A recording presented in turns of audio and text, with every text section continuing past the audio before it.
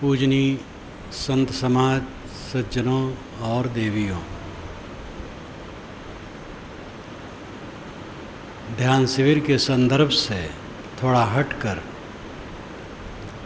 मैं पहले चर्चा करूँगा। श्री कृष्ण महाराज भारतवर्ष के एक महान समर्थ पुरुष हो गए उनका आज जन्मदिन माना जाता है। भादो, कृष्ण पक्ष, अष्टमी, कृष्ण यानी काला पक्ष अधियारी पक्ष।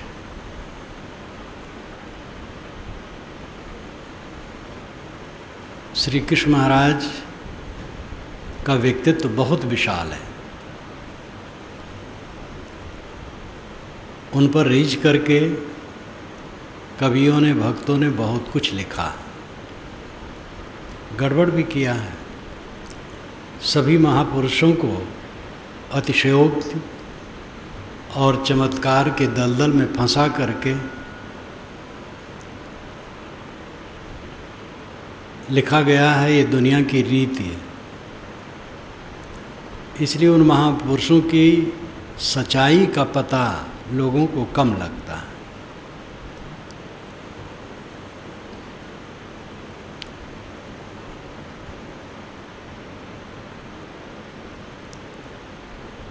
सूर्य वंश से यदुवंश निकला है। वाल्मीकि रामायण के अनुसार राजा जजाति की पत्नी देवयानी, जो शुक्राचार्य की पुत्री थी उससे यदु नाम का बच्चा हुआ। और उनकी राजधानी झूसी में थी, जो इलाहाबाद से पूरब तरफ़ गंगा के पार है। उस समय उनका, उसका नाम था प्रतिष्ठानपुर। प्रतिष्ठानपुर ही प्रसिद्ध था, प्रयाग नहीं। और बनारस इत्यादि तक उसका राज्य था।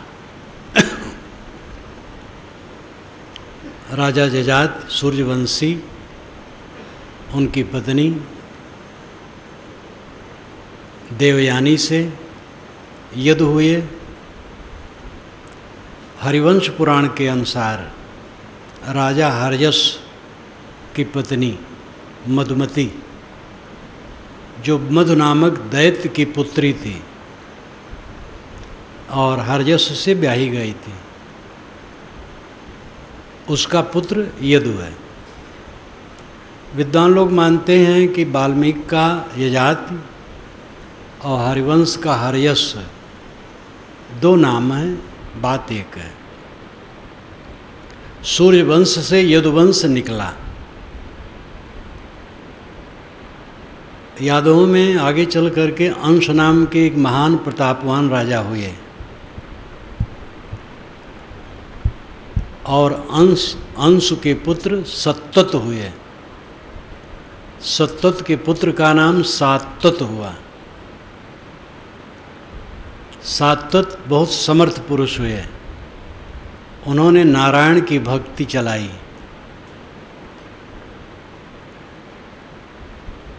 और इसी परंपरा में आगे चलकर श्री कृष्ण महाराज हुए। तो श्री कृष्ण महाराज का व्यक्तित्व इतना विशाल था कि यादों ने माना कि मानो नारायण हमारे घर जन्म ले लिए। आगे चल करके श्री कृष्ण नारायण ही नहीं रहे, अनंत ब्रह्मांड नायक बना दिए गए। श्री कृष्ण महाराज की प्रथम झलकी ऋग्वेद में आती है। ऋग्वेद में दस मंडल हैं। आठवें मंडल में छियानवे सूक्त में, तेरह से सोलह मंत्रों में उनकी चर्चा आती। है और जहाँ खिल भाग, परिशिष्ट भाग नहीं रहता है, वहाँ छानबे की अपेक्षा पचासीवीं में वो आती है। पचासी सूक्त, पचासवें सूक्त में। उसमें आता है कि कृष्ण वन्य जातियों के, दस हज़ार के दस हज़ार वन्य जातियों के नायक सूर्य के समान अवस्थान प्रस्थान करने वाला, तेजों में चीतकार करने वाला, इंद्र ने उसका पता लगाया और उसको परास्त किया। इंद्र और कृष्ण का युद्ध पीछे भी पुराणों में चित्रित है। इंद्र कोई व्यक्ति नहीं हुआ है। इंद्र प्राकृतिक शक्ति है। लेकिन वेद में हर प्राकृतिक शक्ति का व्यक्तिकरण किया गया। है पढ़ने से लगता कोई व्यक्ति है। सूरज सूरज प्रसंग पढ़ो, आदित्य पढ़ो, व्यक्ति लगता है। इंद्र का व्यक्तित्व तो पूरे वेदों में सबसे अधिक महत्वपूर्ण है।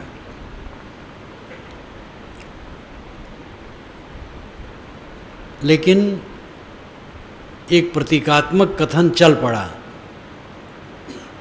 और इंद्र नाम का एक नायक वीर माना गया। आदिदैविक दृष्टि से इंद्र प्राकृतिक शक्ति है।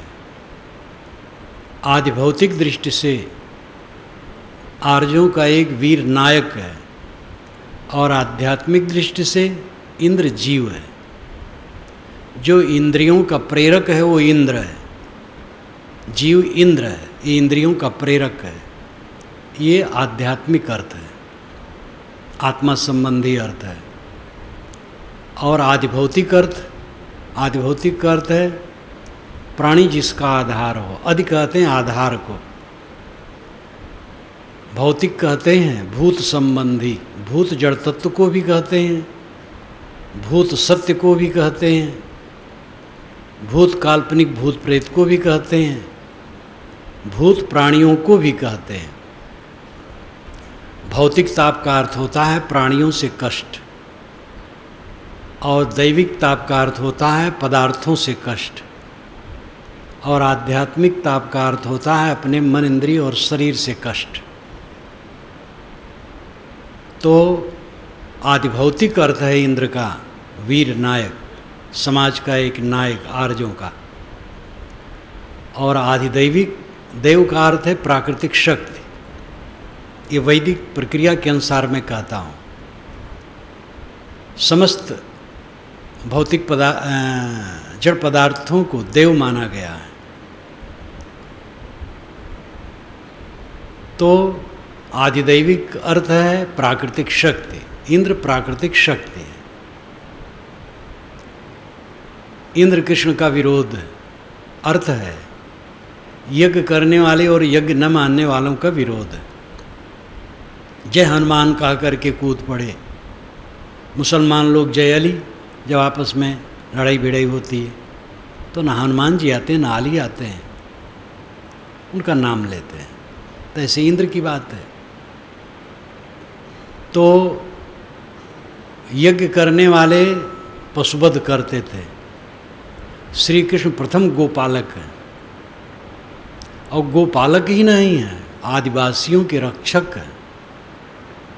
सर्वहारा के पक्षधर हैं। इसीलिए आचार्य चतुर्सेन ने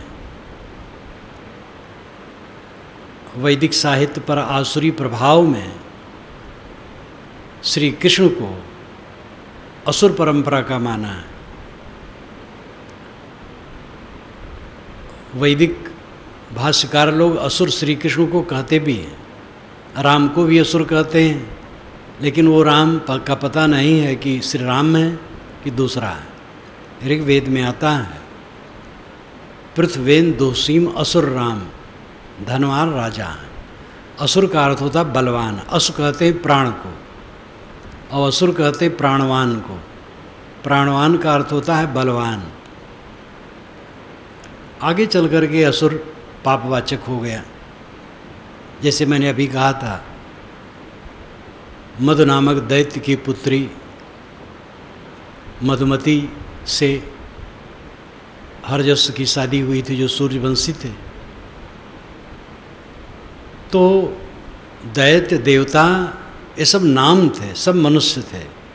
देवता आसुर दानव, उच्च संस्कार वाले अनेक होते थे, सब में होते थे। हनुमान, सुग्रीव, बाली, ये वानर नहीं थे, वानर गोत्री थे। टॉटम की प्रथा पूरी दुनिया में थी, गण चिन्ह की। जिन्होंने वानर का चिन्ह अपने, अपनी ध्वजा पर और ध्वजा पताका पर और घर पर रखा, वाहन में रखा तो उनका गोत्र हो गया। बानर का रखा, बानर गोत्री हो गए। हनुमान जी बानर नहीं थे, कपड़ा पहनते थे, मनुष्य बात करते थे। देवता, दैत्य, दानव, मई मई, पणी, रीछ, गीत, गंधर्व, किन्नर, नाग, वरुण, सैन ये पुरानी जातियाँ मनुष्य की। श्री कृष्ण महाराज गायों के रक्षक, जानवरों के भी रक्षक, आदिवासियों के पक्षधर, अपने जमाने के महान क्रांतिकारी हुए हैं। उनकी दूसरी चर्चा वेद से हटकर वैदिक साहित्य में भी है। वेद तो ऋग्वेद ऋग्वेद में सीधे है। साणाचार्य ने ऐसा भाष्य किया है। सर राधा कृष्णन ने इंडियन फिलॉसफी में इसको स्वीकारा है, इस अर्थ को। और उसके पश्चात वेद के बाद वैदिक साहित्य, उपनिषद सूत्र ग्रंथ ब्राह्मण आरण आरण्यक ये सब वैदिक साहित्य कहलाते हैं। इनमें उपनिषद में, छांदोग उपनिषद में, घोरांग्रस के शिष्य हैं श्री कृष्ण श्री कृष्ण के तीन गुरु थे। कुल गुरु थे गर्गाचार्य। शिक्षा गुरु थे सांदीपनी और अध्यात्म गुरु थे घोरांगिरस। घोरांगिरस अंगिरा के शिष्य थे। अंगिरा मुंडक उपनिषद के उपदेष्टा उपनिषद सौरभ, जो यहाँ से प्रकाशित है, उसको आप पढ़ सकते हैं। मुंडक उपनिषद अंगिरा का उपदेश अत्यंत क्रांतिकारी है। उन्होंने कहा है कि ये अठारह अंग, अठारह अंगों से संपन्न यज्ञ का बेड़ा जर्जर है और कर्म इसके मलिन है। इसलिए मूढ़ लोग कर्म कांड को अच्छा मानते हैं। दंद्र में माना पर्यंत मूढ़ा, अंधे ने नियमाना यथा अंधा जैसे अंधे को अंधा चलाए, ऐसे स्वाहा स्वाहा करने वाले अंधे लोग हवन करके स्वर्ग जाना चाहते हैं। खूब फटकारा है। फिर आत्मज्ञान की बात दी है। ऐसे क्रांतिकारी अंगिरा के शिष्य आंगिरस थे और आंग्रस के शिष्य कृष्ण थे, जो आध्यात्मिक पक्ष के थे।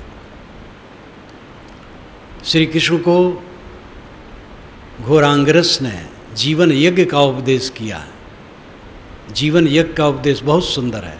आप उपनिषद सौरभ में पढ़े, यहाँ सब विस्तार देने का अवसर नहीं जीवन यज्ञ के बाद उन्होंने कहा है अंत वेलायाम एतत्रयम प्रतिपद्येत अचतमस अच्युतमस प्राण संस्तमस अय कृष्ण अंत वेला के लिए मैं तुमको तीन उपदेश करता हूँ। इन तीन बातों का तुम प्रतिपादन करो। अंत वेलायाम ये तत्र प्रतिपदेत अष्टम अस्य। मैं अक्षय हूँ। आत्मा अक्षय है। आत्मा अविनाशी है। अष्टमस अच्युतमस मैं अच्युत हूँ। न पतन होने वाला, न मिटने वाला। प्राण संस्तम अस्य। प्राण से भी सूक्ष्म और तेज हूँ। देह भाव हटा करके शुद्ध चेतन भाव में रमो। अंत बेलायाम ए तत्रेम प्रतिपदे सारी गर्मी सबकी खत्म होनी। सारा पद गुरुवाई महंथी महामंडलेर सुरत जगत गुरुत। सेठों का सेठपन राजाओं का रा, राज्य सब छूटना है।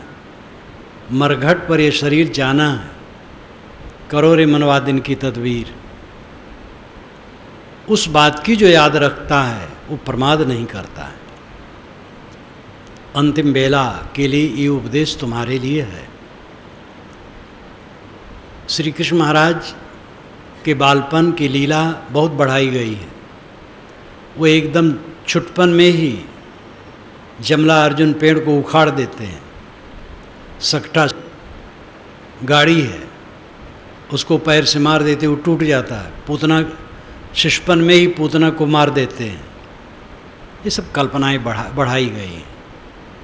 अतिरंजना, कृष्ण जैसे कबीर जैसे क्रांतिकारी पुरुष के लिए जो अभी हुए हैं पाँच छः सौ वर्ष हुए, इतिहास सिद्ध पुरुष हैं, और उनकी वाणी दहकती आग है। उनको चमत्कारों में मंडित कर दिया गया, इतना किया गया हद हो गया है। ये भक्त लोग बड़े भयंकर होते हैं, अनुगामी लोग। सब गुरुओं की अनुगामी, सब महापुरुषों की अनुगामी इतना ज़्यादा जानते हैं जितना महापुरुष नहीं जानते। श्री कृष्ण के साथ यही हुआ। और तो हुआ हुआ, रास उनके साथ जोड़ करके बहुत अनर्थ किया गया। वेद में जहाँ कृष्ण की चर्चा है, रास की कोई बात नहीं। छांदोग उपनिषद में जहाँ चर्चा है, रास की कोई बात नहीं। फिर तीसरा बड़ा ग्रंथ महाभारत आता है। महाभारत का जो संक्षिप्त स्वरूप था, साढ़े आठ हज़ार श्लोकों का था। उसका नाम था जय। जो पच्चीस हज़ार श्लोकों में हुआ तो उसका नाम हुआ भारत। जब एक लाख का हुआ तो महाभारत हुआ। बढ़ाते गए। श्री कृष्ण के जीवन में मैंने लिखा है संसार के महापुरुष में 28 महापुरुषों का जीवन मैंने लिखा है। उसमें श्री कृष्ण महाराज भी हैं। उदाहरण मैंने दिया है। जिस अध्याय में अड़तीस श्लोक कुल हैं, उसमें 1200 श्लोक प्रक्षेप हैं। सोचिए, अड़तीस श्लोक कुल, मूल, और बारह सौ श्लोक प्रक्षेप। ऐसे कई अध्यायों को मैंने दिया जो गीता प्रेस से प्रकाशित महाभारत से आप मिला सकते हैं। तो बढ़ाया बहुत गया। इतना बढ़ाने पर भी महाभारत में कहीं रास की चर्चा नहीं है। प्रथम काव्य जो साढ़े आठ आठ हज़ार श्लोकों का था, उसमें वह कौरव पांडव के केवल सहयोगी और संबंधी थे, कृष्ण। आगे चल कर के चमत्कार उसमें भी बढ़ाया गया। लेकिन रास नहीं आई। हरिवंश पुराण, जो पुराणों में बहुत अच्छा माना जाता है। हरिवंश पुराण में 21 श्लोकों में रास की चर्चा की गई। ये बीज डाला गया। श्रीमद् भागवत पीछे बना। उसमें एक सौ चौहत्तर श्लोकों में अत्यंत अश्लील और भद्दा रासलीला का वर्णन हुआ। उसके पश्चात ब्रह्मव्यर्थ पुराण में और भद्दा किया गया। फिर गर्ग संहिता, जो बहुत विशाल ग्रंथ है संस्कृत का, उसमें श्री कृष्ण महाराज के अरबों खरबों पत्नियाँ बताई गई। एक उदाहरण लें। एक बार श्री कृष्ण एक गोपी के साथ वन में, एक भवन में विहार कर रहे थे। तो राधा ने कहा, क्या वही प्रिय हम लोग प्रिय नहीं हैं? तो उन्होंने एक रथ साजा जिस जिस पर दस अरब गोपिकाओं को बैठाया। दस अरब का मतलब मत समझ लें कि अरब देश के, दस स्त्रियों को। दस अरब संख्या में, जितनी आज पूरे भूमंडल में मनुष्य नहीं है, दस अरब गोपिकाओं को रथ पर बैठाया। जब गए तो श्री दामा पहरे पर थे। उनसे राधा से जो बात हुई, वही बहुत वाहियात है। ऐसा विकार पैदा किया गया, पंडितों ने किया, कि महापुरुषों के जीवन को, चेहरे को खराब कर डाला गया। रासलीला जो श्रीमद् भागवत में है, वही पढ़ के देखिए, दस बरस के कृष्ण कैसे ऐसा कर सकते हैं?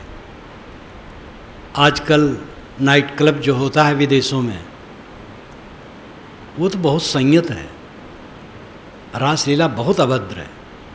अब आज के कितने ज्ञानी संत और पंडित कहते हैं कि ईश्वर की लीलाएँ गुह होती हैं और रासलीला गुहितम गुह है। कौन सा गुहितम गुह है? मैंने उसमें दिया है एक श्लोक का अर्थ जीवन में। महाराज कृष्ण के जीवन में भागवत के एक श्लोक का अर्थ दिया है। तो मैं सबके बीच में कह भी नहीं सकता हूँ उस अर्थ को। कौन सी गुहितम गुही लीला है? जब प्राचीन शास्त्रों में जहाँ कृष्ण की प्रामाणिक चर्चा है, वहाँ नहीं है, महाभारत में भी नहीं है तो पीछे वालों ने क्यों कल्पना गढ़ी? कृष्ण के साथ, हिंदू समाज के साथ, मानवता के साथ ये अपराध किया गया। अब आज दुख की बात है कि जो रास कराए, वो आस्तिक है। जो रास न कराए, वो नास्तिक है। अपने भगवान को केवल हिंदू नचाता है।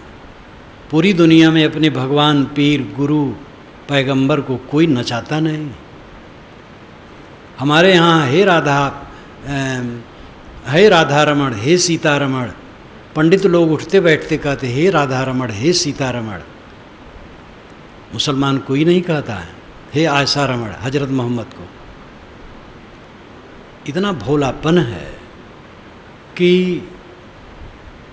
बदहवासी हो गई है पूरी। यदाचरत श्रेष्ठ तत्देवतरो जना। ये श्री कृष्ण महाराज ने गीता में कहा, बड़े लोग जैसे प्रमाण कर देते हैं, छोटे लोग वैसे चलते हैं। श्री कृष्ण ऐसा कैसे कर सकते थे, ऐसा कहने वाले? मैंने इसका जम के खंडन किया और जिन पंडितों ने पढ़ा, उन्होंने महसूस किया कि और प्रमाण दोनों से संपन्न है। शिषपाल ने जब गाली दी है श्री कृष्ण को, युधिष्ठिर के राजसूय यज्ञ में, युधिष्ठिर का राजसूय यज्ञ हुआ तो उसमें अग्र पूजा किसकी हो तो श्री कृष्ण की पूजा मान्य किया गया। भीष्म पितामह ने कहा, कृष्ण की पूजा हो। शिषपाल, चेत देश चेत देश का नरेश था, जो यहाँ जमुना के दक्षिण तरफ़ क्षेत्र है, जबलपुर तक, वो चेत देश है। और श्री कृष्ण महाराज की फुआ का लड़का था, फुफेजात भाई था। और उठा, जो गाली देने लगा कृष्ण को, भीषम पितामह को उल्टा पलटा सठिया गए हैं, बूढ़े हो गए हैं, अक्ल नहीं है। श्री कृष्ण की पूजा? यहाँ बड़े बड़े राजे महाराजे बैठे हैं। श्री कृष्ण के पिता बसदेव ही बैठे हैं, उन्हीं पूजा करवा देते। और ये ये ग्वाले की पूजा, अहिर की, गाय चराने वाले और जो जो उठपटांग कहा है, आप उसको पढ़िए तो बड़ा आनंद आएगा। मालूम होता अभी घटना घट गट रही है। और बहुत कुछ कहा है, लेकिन ये नहीं कहा है कि कृष्ण रसिया हैं। इसका मतलब तब तक रसिया का पता नहीं था। और रासलीला दस वर्ष की उम्र में हुई है तो क्यों नहीं शिषपाल ने गाली में उसको जोड़ा? जब अयोध्या में पहली बार छप करके गया तो पंडितों ने कहा कि ये तो परम यथार्थ बात कही गई है। शास्त्रोक्त है और युक्त युक्त है। लेकिन ऐसी अचेती है कि क्या कहा जाए। रास श्री कृष्ण महाराज को थोप करके बहुत बड़ा अन्याय किया गया है।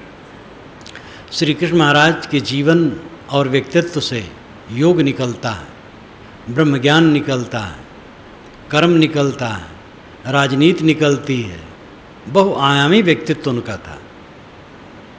और एक जगह तो ऐसा भी आता है कि विवाह के बाद बारह बरस तक ब्रह्मचर्य पालन करके उन्होंने साधना की।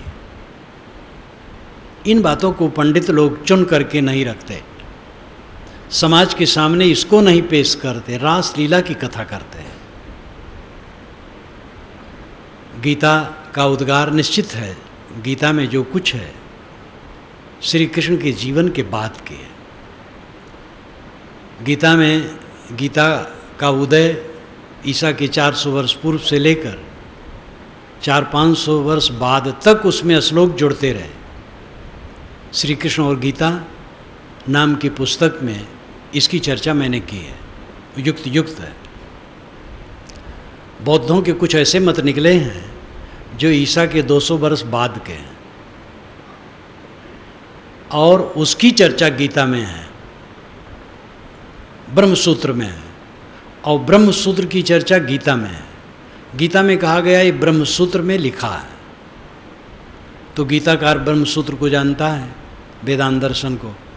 और वेदांत दर्शन में बौद्धों के उन मतों का खंडन किया गया है जो ईसा के 200 वर्ष बाद बने, उदय हुए हैं।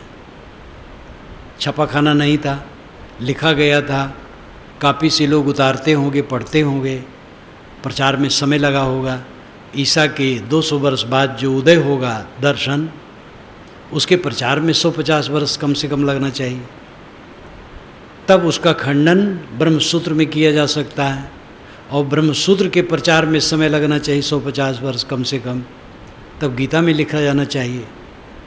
तो कम से कम तीन चार सौ वर्ष बाद ईसा के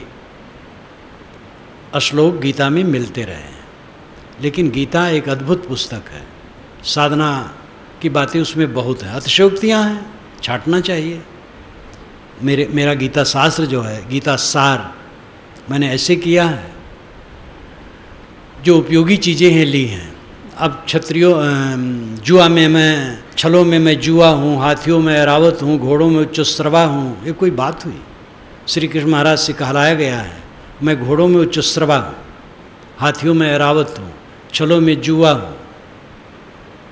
ये सब व्यर्थ की बातें। तो गीता सार में इसीलिए ऐसी बातों को हटाकर सार श्लोकों पर व्याख्या की गई है। एक भावुक भक्त ने लिखा था, कृष्ण भक्त ने, मुझे पत्र, कि आपकी व्याख्या तो बड़ी सुंदर है, लेकिन कृष्ण भगवान को आपने भगवान नहीं माना है, ये ठीक नहीं है। महाराज कहा है, उनको आप भगवान मान लीजिए। भगवान तो बुद्ध को भी लोग कहते हैं, लेकिन तथागत बुद्ध का मैंने लिखा, बुद्ध क्या कहते हैं? मैंने तथागत बुद्ध लिखा, भगवान ने भगवान शब्द वैसे महापुरुषों के लिए प्रयुक्त है। पूरी वाल्मीकि रामायण में भगवान शब्द ऋषियों के लिए है, राम के लिए नहीं है, क्योंकि वाल्मीकि के ज़माने में राम महापुरुष मात्र माने जाते थे, ऋषि या पूज्य पुरुष नहीं। तो ऐसे भगवान शब्द महापुरुषों के लिए है, लेकिन आगे चल करके श्लेष हो गया है, जगतकर्ता का, दुनिया भर के मालिक है, और वहीं सारा भ्रम पैदा होता है। इसलिए मैं महापुरुषों के नाम में भगवान नहीं लगाता महाराज, कबीर साहब के लिए सदगुरु, कबीर साहब को भी भगवान, कबीर, परमात्मा कबीर कहा जा रहा है। अब ऐसी जगह मेरा प्रवचन भी होता है, ऐसे मठों में भी जाना होता है, जहाँ वहाँ कहने वाले भगवान कबीर, परमात्मा कबीर, लेकिन मैं एक बार भी नहीं कहता हूँ परमात्मा कबीर, भगवान कबीर, संत कबीर, सदगुरु कबीर कहता हूँ। सभी मत वालों को चाहिए यथार्थ बोध के लिए वो अग्रसर हो और आडंबरों को हटाएँ, सही ज्ञान समाज में फैले। श्री कृष्ण महाराज का गीता का ज्ञान एक लें। यस्तो आत्मरत रेव सदात्म तृप्त मानवा, आत्मन्यव संतुष्ट कार्यम न विद्यते। जो आत्मतृप्त है, आत्मसंतुष्ट है, आत्मरत है, उसके लिए कुछ करना बाकी नहीं। आत्मा की तरफ़ लौटो। ध्यान की प्रक्रिया यही। अब कबीर साहब का एक पद और उस पर चर्चा। संतोष साहस समाधि भली। गुरु प्रताप जा दिन से प्रगटो सुरत नांत चली। जा जा डोलो सो परिक्रमा, जो कुछ करो सो पूजा। जब सो तब करो दंडवत भाव मिटाओ दूजा। आँख न उदो कान न रूदो, काया कष्ट न धारो। खुले नयन हँसी हँसी पहचानो सुंदर रूप निहारो। शब्द निरंतर से मन लागा, मलिन वासना त्यागी उठत बैठत कबहु न छूटे ऐसी तारी लागी। कहत कबीर सहज हरानी सो प्रगट कर गाई। सुख दुख से कोई परे परम पद, सो पद है सुखदाई। ये बहुत प्रसिद्ध पद है। संतो साहस समाधि भली। ऐ संतो, साहस समाधि अच्छी होती है। सहज समाधि के दो रूप हैं। एक आभ्यासिक और एक व्यावहारिक। आभ्यासिक सहज समाधि है। चित्त का शून्य हो जाना, संकल्पों का शून्य हो जाना। साधक बैठे, संकल्पों का त्याग कर दे। कुछ स्मरण न रखे सारे स्मरण को छोड़ दे। ये सहज नहीं। पहले इसका काफ़ी अभ्यास होगा, तब इस स्तर पर साधक आता है, जहाँ की सारे स्मरण शांत हो जाते हैं। योगश्चित वृत्ति निरोधा, पतंजलि महाराज ने कहा, योग का अर्थ है चित्त की वृत्तियों का निरोध। चित्त और वृत्ति, पानी और तरंग। पानी है लेकिन तरंग नहीं है, चित्त है लेकिन वृत्ति नहीं है। वृत्त का अर्थ तो होता है घेरा, लपेट। गाय की याद आई, एक वृत्ति हो गई। भैंस की याद आई, एक वृत्ति हो गई। सड़क की याद आई, एक वृत्ति हो गई। दो व्यक्तियों के लड़ने की बात याद आई, एक वृत्ति हो गई। वृत्त पर वृत्ति वृत्ति आती रहती है। ये वृत्तियाँ शांत हो जाए, कुछ न सोचे। जहाँ कुछ नहीं सोचना होता है, वो संकल्प शून्य अवस्था है। यह आभ्यासिक सहज समाधि है। आपका सहज स्वरूप क्या है? चेतन। आप जानने के स्वभाव वाले हैं, जानते हैं। सब कुछ जानते हैं। जान जान करके रीझते हैं और खींचते हैं। यही पीड़ा है। जाने और रीझे ना खींचे ना, यही आत्मविजय है। दीर्घ काल के अभ्यास से यह दशा आती है। जानना पड़ेगा। साथ समाज में कोई हरदम बैठा नहीं रहेगा। आँखें देखेंगी, कान सुनेंगे, चाम से स्पर्श होगा ठंडी गर्मी इत्यादि का। जीप से रस लेंगे, खाएँ पिएँगे तो रस का अनुभव होगा। नाक से गंध आएगी, मन से संकल्प विकल्प होंगे। इन खिड़कियों से, इंद्रियों की खिड़कियों से हम संसार को जानेंगे। लेकिन जान करके इनमें विचलित न होना, क्षोभित न होना मोहित न होना, उद्वेगित न होना, प्रशांत रहना, ये आत्म विजय है। सहज आपका स्वरूप चेतन है। चेतन मात्र सत्ता रह गई। संकल्प शांत हो गए। शुद्ध चैतन्य अवस्था है। ये सहज समाधि है। आभ्यासिक सहज समाधि व्यवहारिक सहज समाधि। खाते हैं, पीते हैं, उठते हैं, बैठते हैं।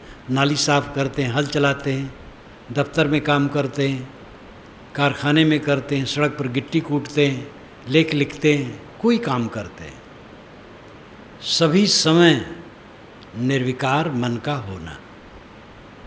मन में मैल नहीं। ये व्यावहारिक सहज समाधि ये मान लिया जाए कि जब आँख मूद करके बैठें चित्त शांत हो जाए उतने समय समाधि रहेगी।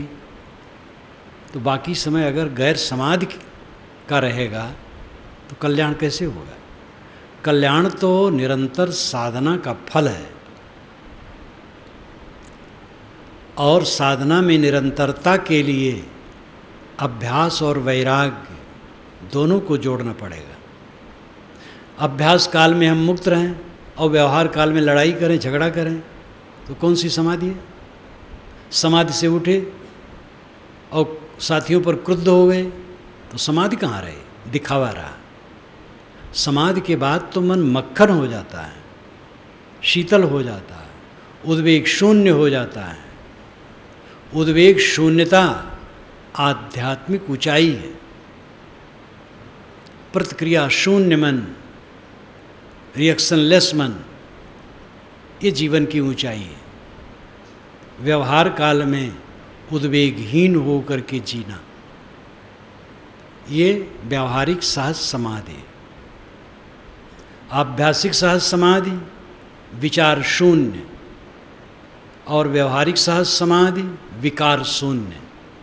इस पर जरा ध्यान दें। विचार शून्य, विकार शून्य। आभ्यासिक साथ समाधि, अभ्यास काल में बैठे सारे विचार शांत हो गए। ये विचार शून्य अवस्था। ये आभ्यासिक साथ समाधि है और यही असली योग है। और जब काम धंधे में लगे तो काम धंधे करते हैं। लेकिन विकार शून्य विचार तो हैं, विचार तो चलते हैं, लेकिन विचारों में विकार नहीं है। कोई मैल नहीं है, कोई कालुष्य नहीं है, कोई उद्वेग नहीं है। ये जीवन की ऊंचाई है। कुछ क्षण आप उद्वेग शून्य रहें। तो समझ लीजिए आपके जीवन का असली हिस्सा वही है। सौ वर्ष जिए और एक घंटा उद्वेग शून्य रहे तो एक घंटा वाला जीवन आपका जीवन रहा, बाकी सब बेकार गया। इसलिए अपने को साधना में नियोजित करना चाहिए और इस अवस्था को प्राप्त करने के लिए सबको प्रयत्नवान होना चाहिए। सदगुरु कबीर ने इस पद में व्यावहारिक सहज समाधि की चर्चा की है। आभ्यासिक नहीं। संतोष सहज समाधि भली गुरु प्रताप जा दिन से प्रगटो सुरत न अंत चली। गुरु की कृपा जब से हुई, बोध मिला, तब से सुरत अलग नहीं गई। ये बड़ी बात है। मन कब कहाँ चला जाए? सावधान। क्षण में नरक में गिराएगा। सफ़ेद चदर बैठे रहो। लेकिन मन नाली में पटक देगा। साधु बेस काम नहीं करेगा। गुरुपन भी काम नहीं करेगा, ऊँची गद्दी काम नहीं करेगी। मन नरक में पटक देगा, अगर असावधान हुए तो। सतत सावधान जो रहता है साधक, वो अपने चित्त को निर्मल रखता है। जब निर्मलता हो जाती है, सावधानी स्वभावगत हो जाती है।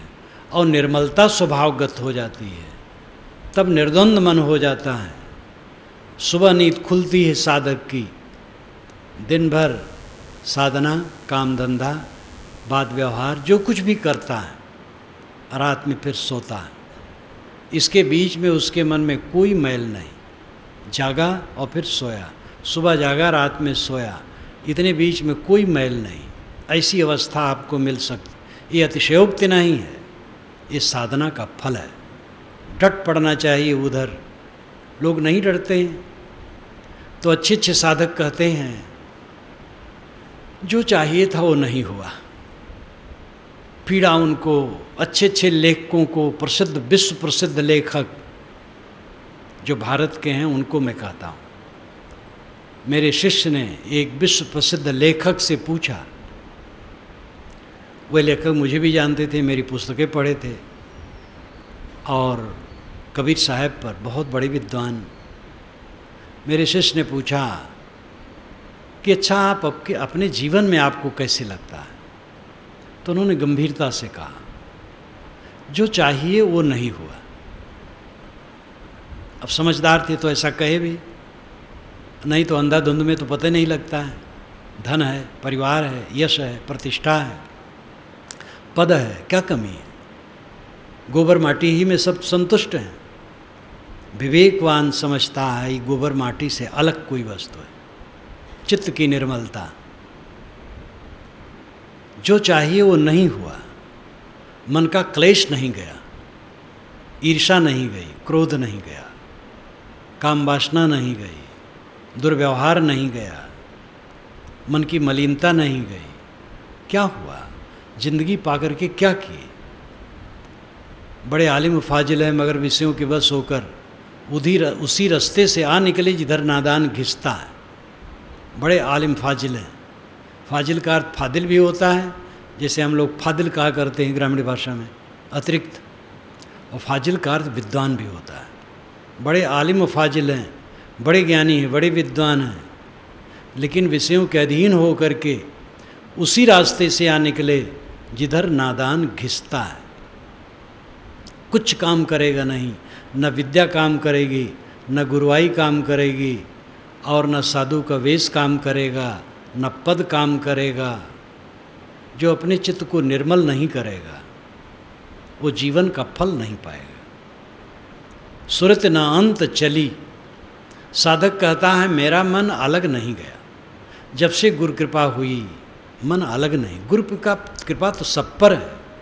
अपनी कृपा अपने ऊपर जब तक न होगी, गुरु कृपा क्या करेगी? कहते, महाराज, आपकी कृपा हो तो हमारा कल्याण हो जाए। कल्याण उनका नहीं हुआ, इसका मतलब हमारी कृपा उनके ऊपर नहीं है। ईश्वर चाहेगा तो हो जाएगा। इसका मतलब ईश्वर गलत है जो नहीं चाह रहा है।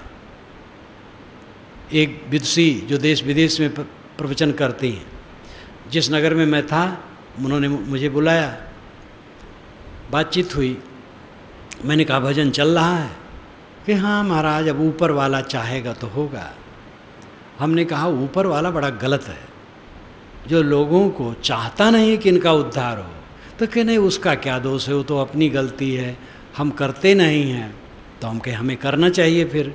कि हाँ जब वो चाहे, हम कहे, फिर वही गलती। जब बारंबार वही कहें, चाहे और फिर कहें हाँ वो तो अपना करना चाहिए। तो मैंने कहा, आपको निश्चय क्या है? कहे, मैं क्या निश्चय बताऊँ? कुल सुनी हूँ, सब कह देती हूँ। कितने ज्ञानी दूसरे ज्ञान देते हैं, अपना अंधकार में रहते कोई निर्णय नहीं ये पक्का समझ लो, आपका उद्धार करने वाला कोई नहीं है दूसरा। सदगुरु केवल रास्ता बताएगा, और रास्ता बताना कम नहीं। सदगुरु का व्यक्तित्व ज्ञान, सदगुरु पद वह है श्री राम राज साहब ने कहा है, आप सुखी दूसर सुखी सदगुरु कहिए ताए। जो क्लेश रहित है, वो सदगुरु है। और उसी के संपर्क में आकर के दूसरे लोग क्लेश रहित होने का बल पा सकते हैं। गुरु महाराज स्वयं झंख रहे हैं, उद्वेगित हैं, पीड़ित हैं, असंतुष्ट हैं। शिष्य क्या पाएगा? तो गुरु उपदेश करता है और साथ साथ उसकी पवित्र रहनी का प्रभाव पड़ता है। आचार्य उपनय मानो ब्रह्मचारिणी कृणते ग्रमंत तम रात्रिस्त्रिस उदरे विभर्ति। तम जातम अवसंयंत देवा। तम जातम दृष्टुमभ संयंत देवा। ये वेद का मंत्र है। आचार्य उपनय मानो आचार्य उपनय मान होता है। उपनय मान का मतलब खींच लेने वाला। आचार्य जो होता है, गुरु जो होता है, वो उपनय मान होता है, खींच लेता अपनी तरफ़, शिष्य को। ब्रह्मचारिणम गर्भ गर्मंता ब्रह्मचारी को, साधक को खींच करके अपने गर्भ में ले लेता है। सीधा अर्थ है, गुरु, ब्रह्मचारी शिष्य को खींचकर अपने गर्भ में ले लेता है। तम रात्रिम, तम रात्रिस्त्रिस उदरे विभर्ति। वह उस शिष्य को तीन रात तक अपने गर्भ में रखता है। तम जातम दृष्ट मभ संयंत देवा। तम जातम फिर जब वो पैदा होता है गर्भ से तो दृष्ट दृष्टुम अभिसंयंत देवा। उसके दर्शन के लिए देवता लोग, सज्जन लोग आते हैं। देवता का मतलब सज्जन। ये अलंकारों में कहा गया है।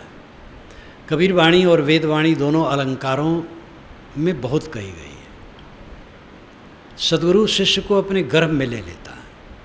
इसका अर्थ है, सदगुरु पूर्ण है, निष्काम है, बोधवान है। शिष्य समर्पित है तो मानो उसके गर्भ में चला गया। गर्भस्थ शिशु स्वयं कुछ करता नहीं, न सांस लेता है, न खाता है, कुछ नहीं करता। माँ के अंगों से उसका सब कुछ होता है। अगर गुरु पूरा है शिष्य समर्पित है। तो गुरु के व्यक्तित्व, वाणी, रहनी से शिष्य का जीवन शुद्धता जाता है। समर्पित है, लगन है, उसके साहचर्य से उसके जीवन में परिवर्तन आता जाता है। ये बहुत महत्वपूर्ण कथन है गुरु शिष्य के बीच में। आचार्य उपनय मानो ब्रह्मचारिणम कृणते गर्भ बनता तम रात्रि स्त्रित सुदरे विवर्त। उसको तीन रात अपने गर्भ में रखता है। तीन रात है आदि दैविक अविद्या आदि भौतिक अविद्या, आध्यात्मिक अविद्या। आदि दैविक अविद्या, ये सृष्टि के विषय में न समझना। पानी कौन बरसाता है? भगवान बरसाता है। ज़्यादा क्यों बरसा दिया? कोई समाधान नहीं। सूखा क्यों कर दिया? कोई समाधान नहीं। भूचाल कौन लाता है? भगवान। क्यों ला दिया सबको परेशान कर दिया इंडोनेशिया से भारत तक, लंका तक? कोई समाधान नहीं। सृष्टि अनादि है, अनंत है। सब समय सृष्टि है और प्राकृतिक शक्तियों से ये सब ऑटोमेटिक चलता है।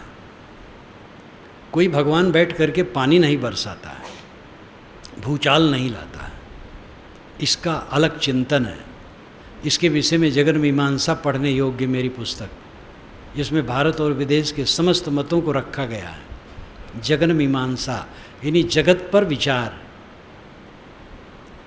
तो आदिदैविक अविद्या का अंत हो, यानी ये प्रकृत जो सृष्टि चक्र है, अपने गुणधर्मों से स्वतः चालित है, अनादि अनंत है।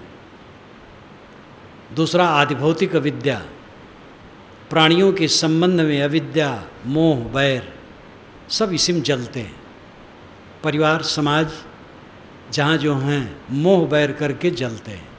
मोह, वैर से रहित होना, ये आधिभौतिक विद्या से ऊपर उठना है। और आध्यात्मिक विद्या आत्मा, जिसका आधार हो वो आध्यात्मिक है। शरीर इंद्री मन, अंतकरण का आधार आत्मा है। इसलिए ये पूरा व्यक्तित्व जो आपका है, ये आध्यात्मिक क्षेत्र है।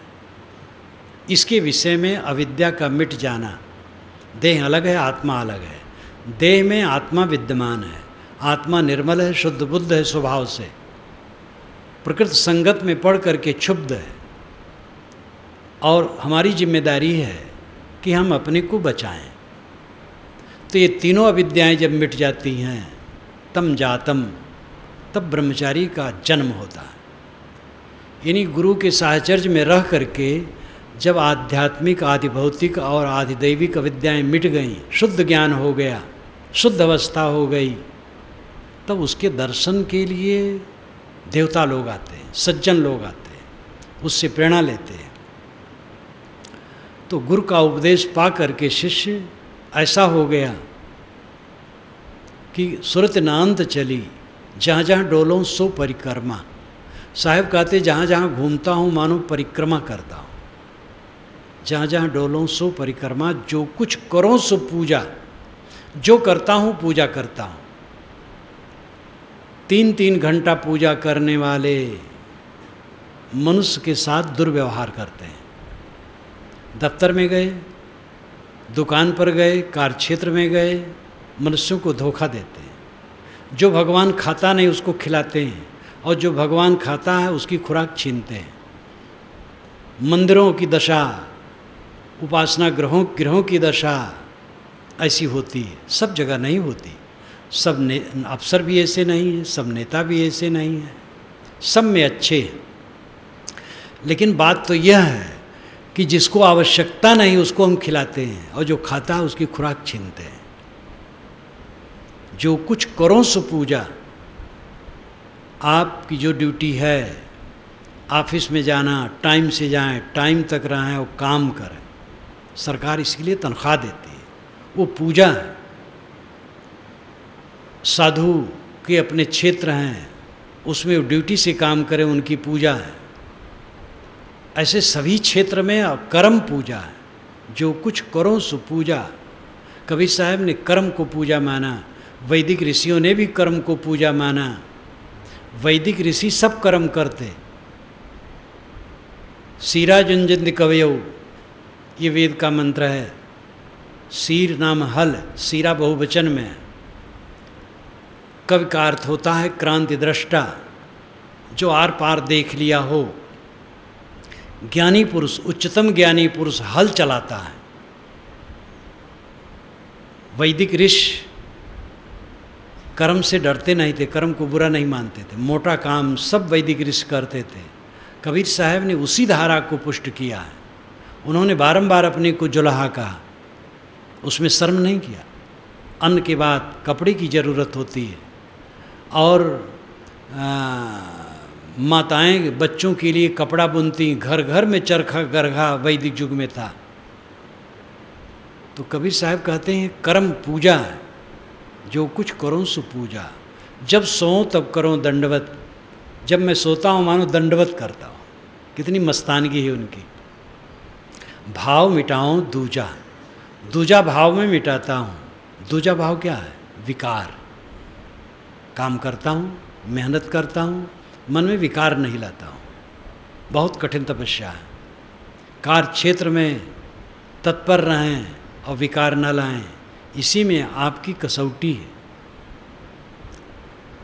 आँख न मोदो, कान न रोधो, काया कष्ट न धारो, खुले नयन हँसी हँसी पहचानो, सुंदर रूप निहारो। आँख कान मूद करके मैं ध्यान नहीं करता हूँ। खुले नेत्रों से हंस हंस के पहचान रहा हूँ। सब मेरे प्रभु हैं। एक सज्जन ने कहा कि आप तो आँख मुदवा करके लोगों को बैठाते हैं। कबीर साहब ने कहा, आँख न मुदो, कान न रो दो मैंने कहा, उन्होंने कहा है। मनमस्त हुआ, फिर क्यों बोले? हीरा पायो, गांठ गठिया, बार बार वाको क्यों खोले? हल्की थी, तब चढ़ी तराजू, पूर्व भया तब क्यों तोले? सुरत कलारी, भई मतवारी, मदवा पी गई बिन तोले? हंसा पायो, मान सरोवर, ताल तलैया क्यों डोले? तेरा साहेब है घट भीतर, बाहर नैना क्यों खोले? कहत कबीर, सुनो भाई, साधु साहेब मिल गए तिल ओले। मैंने कहा, भाई, ये आप व्यवहारिक साहस समाधि है। इसलिए खुले नयन हंस हंस पहचानो साहब कहते हैं। आप अभ्यासिक साहस समाधि में बाहर नैना क्यों खोले? क्यों चकर चकर ताकता है? सबका प्रसंग है। आपको अगर ये सुनाई दे कि इलाहाबाद रेलवे स्टेशन पर अभी अभी ईश्वर उतरेगा इस गाड़ी से, दिल्ली से आ रहा है। तो आप लोग भाग पड़ेंगे ईश्वर के दर्शन के लिए। लेकिन आपको कहें जो बैठे हैं, सब ईश्वर और देवी देवता हैं तो आप कहेंगे, ये देवी देवता हैं। ये देवी देवता नहीं लगते। हमारे आसपास के लोग भगवान भगवती नहीं लगते। या तो कहीं आकाश में होगा या तो पत्थर की पिंडियों में होगा ऐसा हमारे दिमाग को लकवा है कि जो सच भगवान है, उसका आदर नहीं। संत ईसा ने कहा है, अपने पड़ोसी से हम प्रेम नहीं करते हैं, और कहते हैं ईश्वर से प्रेम करते हैं। जिसको आपने देखा नहीं, कहते हैं प्रेम करते हैं, और जिसको रात दिन देख रहे हैं, प्रेम नहीं करते हैं, कैसे प्रेम करते हैं? बहुत बढ़िया बात कही। इन प्राणियों के प्रति भगवत बुद्धि न होगी, भगवती बुद्धि न होगी, तब तक जीवन हमारा बदलेगा नहीं। ऑफ़िस में, दुकान पर, कारखाने में, खेत में, सड़क पर कहीं भी कार्य क्षेत्र हो मिलने जुलने वाले व्यक्तियों को देवी देवता, भगवान, भगवती समझो। उनका आदर करो। उनके साथ कोई छल न करो, धोखा न दो। ये भगवान की पूजा है। खुले नयन हँसी हँसी पहचानो, सुंदर रूप निहारो।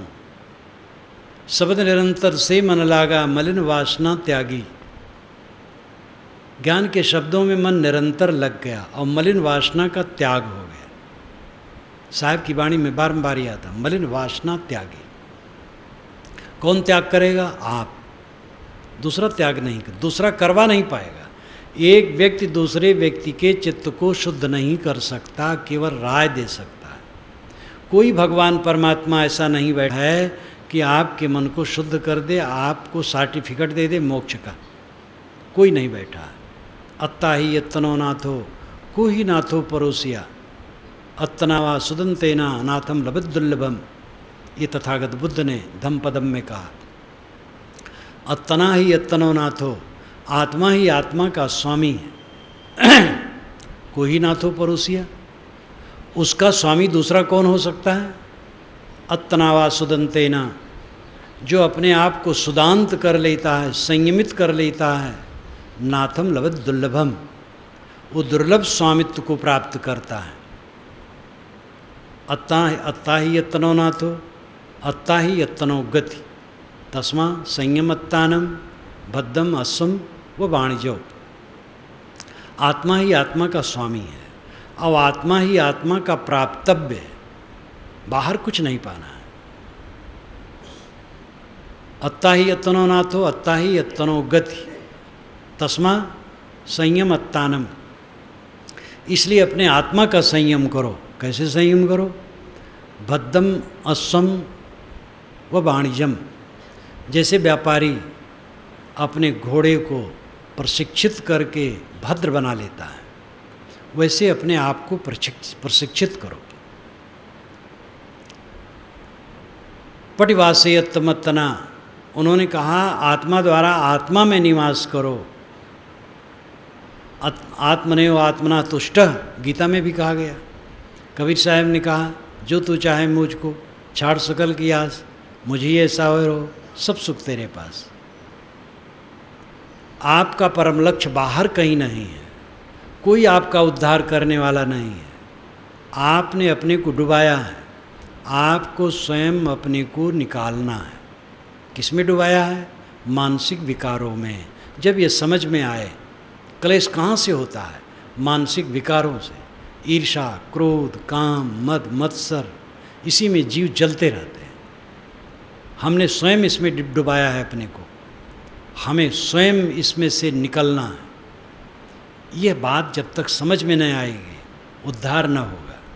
गाते रहो कि भगवान तार दो, गुरु महाराज तार दो। शक्तिपात का बड़ा भारी भ्रम है। गुरु शक्तिपात कर देता है। शक्तिपात बिल्कुल बेकार की बात है। गुरु उपदेश करता है, बस उतना ही बहुत है। उससे आपको परिश्रम करना पड़ेगा। शब्द निरंतर से मन लागा, मलिन वासना त्यागी। उठत बैठत कबहु न छूटे, ऐसी तारी लागी। ऐसा ध्यान लगा कि उठते बैठते छूट नहीं रहा। ये कौन सा ध्यान है? निर्मल मन, हरदम निर्मल मन, हरदम निर्मल मन। उठत बैठत कबहु न छूटे, ऐसी तारी लागी। कहत कबीर, सहज रानी, सो प्रकट कर गाई। कबीर साहब ने कहा, सहज समाज का व्यवहारिक स्वरूप मैंने प्रकट करके आपके सामने कह दिया। सुख दुख से कोई परे परम पद, सो पद है सुखदाई।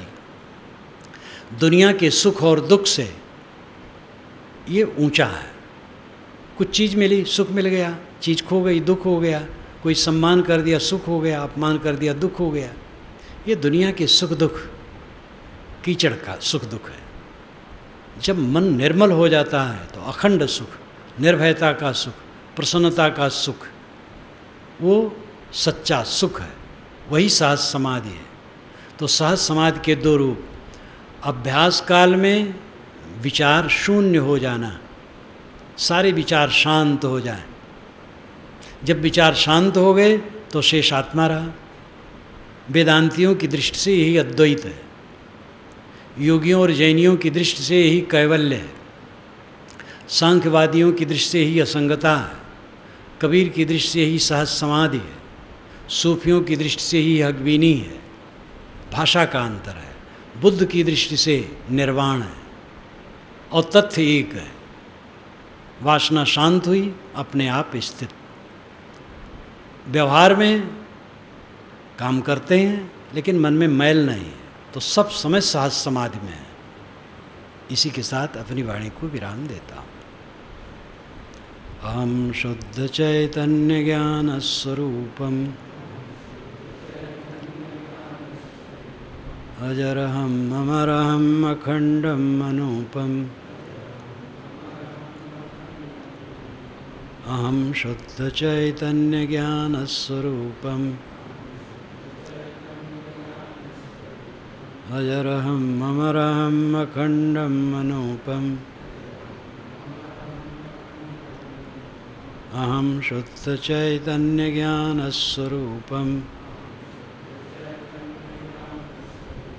अजरहं ममरहम् अखण्डं मनूपम्। अहं शुद्धचैतन्यज्ञानस्वरूपम्। अजरहम ममरहम् अखण्डं मनूपम्।